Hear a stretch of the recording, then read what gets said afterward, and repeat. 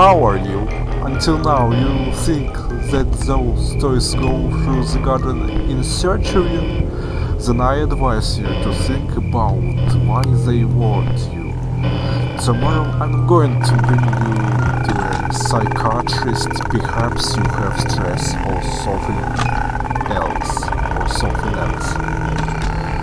Okay. So it's best to examine you. Keep walking.